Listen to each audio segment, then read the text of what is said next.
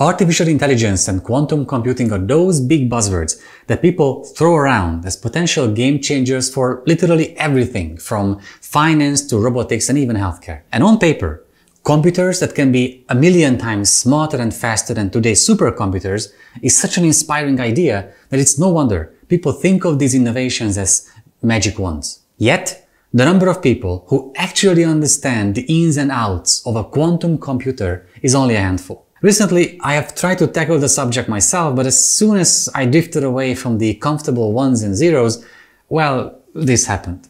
People were trying to explain it to me, but I found myself smiling and nodding, looking at them blankly. They were speaking nonsense. They say a classical bit is zero or one, but a quantum bit is both a zero and a one. How? Do they even understand it? I couldn't tell. Maybe they've just learned that line from an article too. How can something be two things at once? I felt like falling into a rabbit's hole. I was wandering around my apartment. The coffee got cold in my hand. Was it still hot? Maybe it was both. I couldn't sleep anymore. I wanted to crack the answer. Maybe a quantum computer could do it. Maybe, just maybe, a quantum computer can figure out how it works. But recently, IBM reached out to me for a sponsored collaboration regarding AI and quantum computing, and I was happy to jump on the opportunity to talk to someone who's one of those people who can hopefully shed light on what quantum computing is and what to expect when it eventually enters healthcare. This is Dr. Bertalan Meskó and you are watching The Medical Futurist.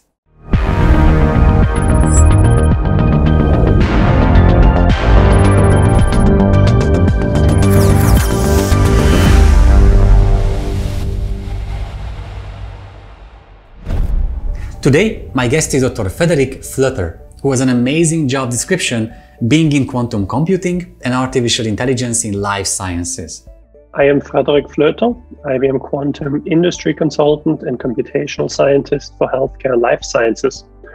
My background is in physics. I did my PhD in the area of photonic quantum computing, and my work focuses on exploring medical applications of quantum computing and AI in collaboration with our partners in the IBM Quantum Network. His work is truly something out of a science fiction story. And as someone who has hands-on experience with these technologies, first I was curious about how he would describe quantum computing to us laymen.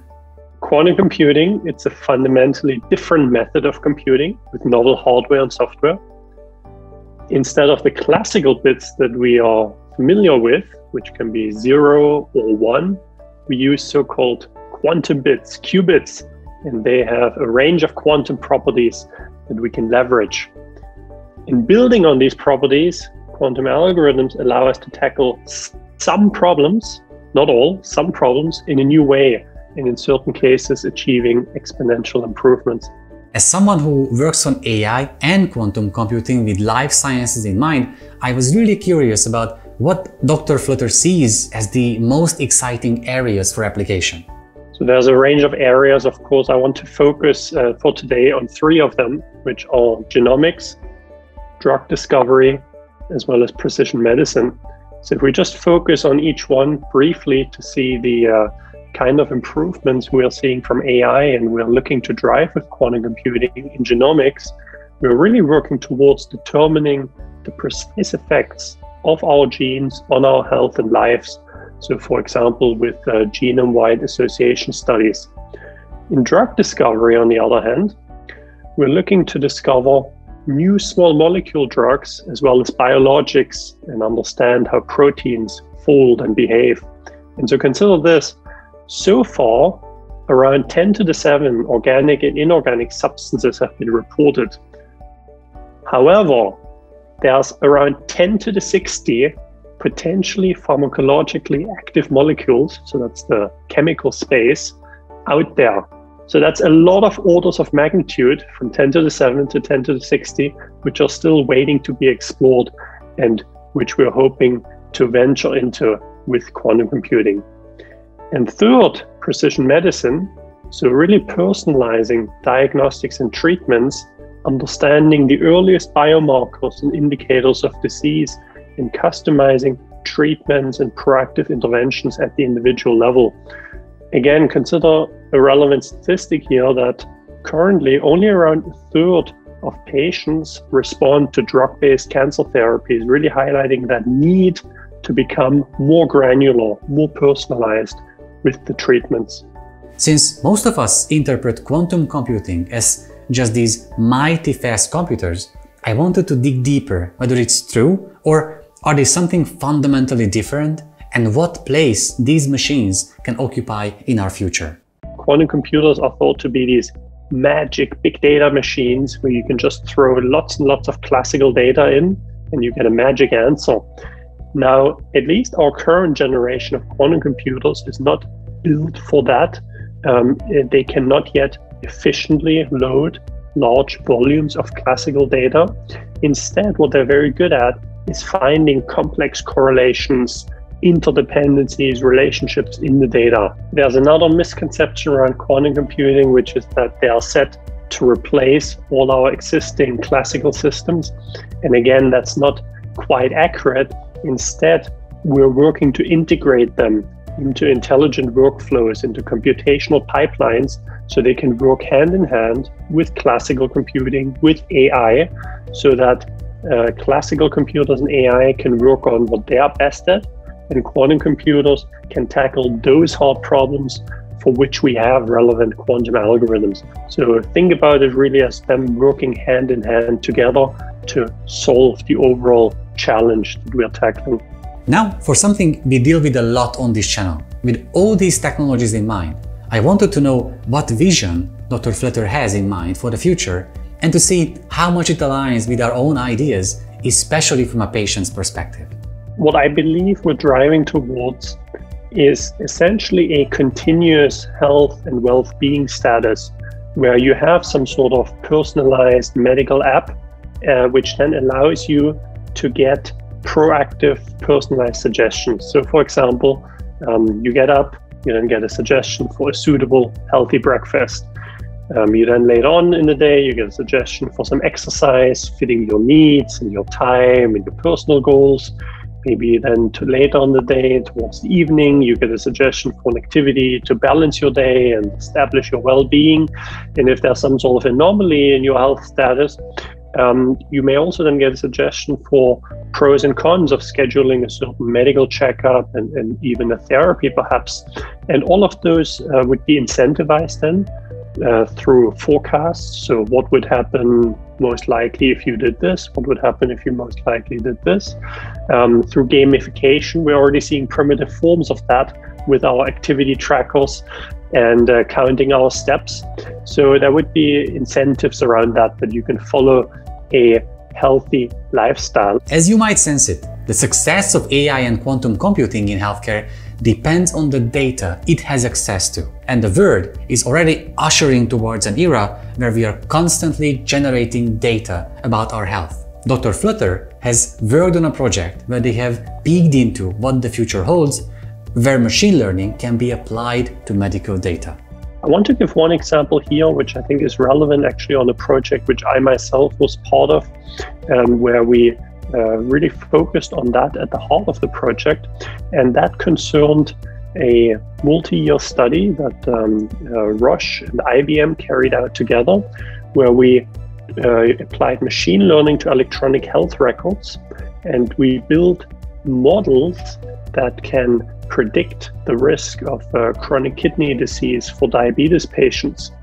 And when we were selecting those different kinds of machine learning models, and comparing them and contrasting them, we really took into account which of those are more black boxes and which of those can we understand more easily. And so we ended up uh, picking those, focusing on those which we can understand in order to achieve that acceptance by medical practitioners you touched on. And building on those, we were then able uh, to outperform actually all existing algorithms based on uh, data from clinical studies only. And so this was a uh, a pioneering piece of work to help pave that way towards using real world data and using it in such a way that it can be accepted by humans, by politicians, by society. So the question is with all this sensitive data on the line, what should we expect from a privacy standpoint? Is it possible to find a balance between sharing our data so we can build AI based technologies while also keeping our privacy intact? So I believe we're driving towards a future where it's up to you how much you want to share. The more you're willing to share, the better and more personalized will be the advice, the medical advice, which you're likely to get. And I think in order to make that as seamless as possible, uh, let's look at today where we already have some privileged relationships, for example, between attorneys clients, or even between medical practitioners and patients, where people generally feel comfortable sharing very personal data, very personal information. But I don't think this is an ethical dilemma in the sense that nowadays, if I go, if I'm sick and I go to my doctor, but I'm not willing to tell the doctor exactly my medical history and maybe exactly what is bothering me, of course, the doctor will not perhaps be able to make the most accurate diagnosis. Finally, I was curious about how Dr. Flöther sees the present of these promising technologies and how the rest of us should think about quantum computing and AI's future. So, to wrap up, as humans, we tend to overestimate what can happen in the short term, but underestimate what can happen in the long term. So, no, quantum enhanced AI applications are not yet able to discover new drugs for you or give you personalized medical advice, but we are making very rapid progress in exploring proof of concept studies with AI and with quantum. And I'm very excited regarding the next years.